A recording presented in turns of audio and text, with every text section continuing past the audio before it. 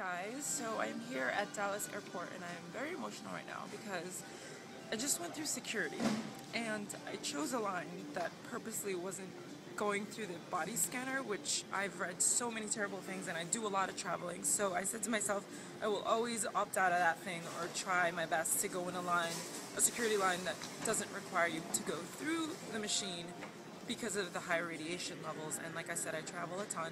I don't want to get more radiated than I already do in everyday life. So I chose the line that didn't seem to be going through that scanner. And when I got to the to the front of the security, they told me to go through the scanner, and I said I don't want to go through there. I want to go through this line. That's why I came this line and waited behind other people. I mean, the other line was empty. It seems like nobody wants to use that scanner or go through it.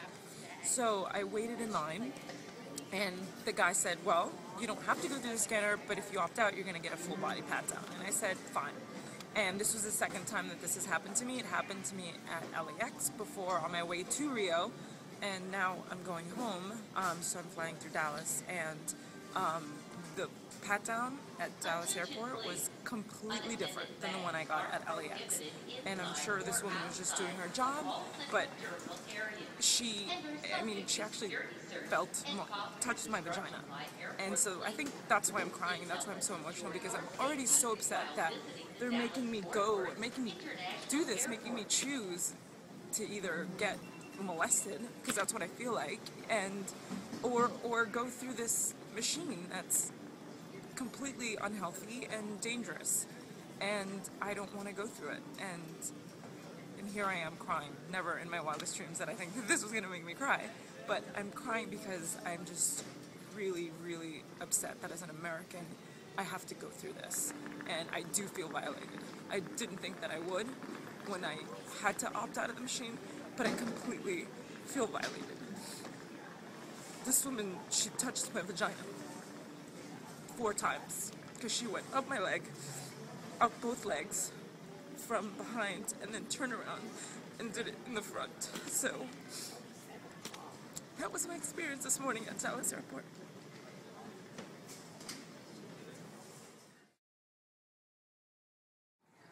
Okay, so I just talked to TSA. I spoke to a supervisor, Camila.